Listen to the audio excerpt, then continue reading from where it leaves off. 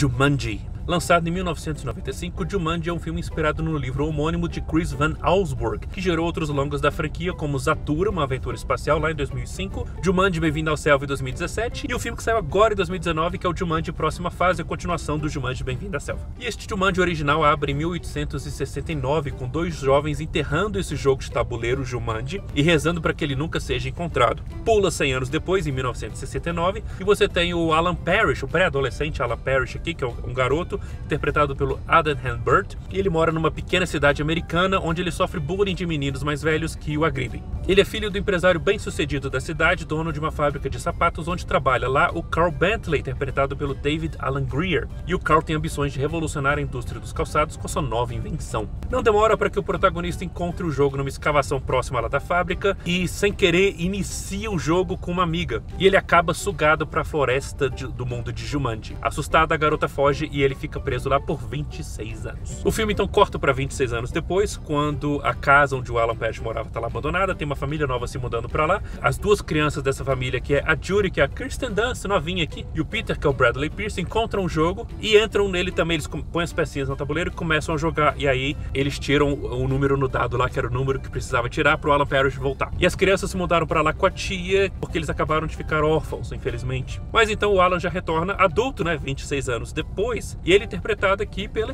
estrela do filme, que é o Robin Williams, nosso querido Robin Williams. E aí a aventura em si começa já que com novos jogadores, novos perigos saem do jogo para ameaçar a cidade e ameaçar eles. O filme é dirigido pelo Joe Johnston, que tem uma boa experiência aqui com efeitos visuais e costuma dirigir aventuras de um ótimo ritmo, cheias de carga nostálgica. Por exemplo, ele é o diretor de Querido Encolher as Crianças e de Capitão América 1. E as habilidades do diretor rendem fantásticos frutos aqui neste longa, onde a frenética sequência de eventos é bem equilibrada com tons de humor e desenvolvimento de personagens o suficiente para que a gente se importe com eles. A química entre Robin Williams e as crianças funciona desde o primeiro contato e a adição da atriz Bonnie Hunt como a garota traumatizada por ter visto o amigo ser sugado por, um tabuleiro e é traumatizada assim já adulta, né, tipo 26 anos depois também, é uma escalação acertada. Há um subtexto aqui interessante de filhos lidando com sentimentos mal resolvidos dos pais, seja pelos jovens órfãos, seja pela menina que cresceu ouvindo que, que ela era louca por ter visto o que viu, ou seja pelo protagonista que viu o pai como, eh, como autoritário demais. São elementos que funcionam e enriquecem os personagens, sendo que o uso do mesmo ator, o Jonathan Hyde, para fazer o pai do Alan Parrish e um caçador implacável que o jogo traz à vida para caçar o Alan incessantemente,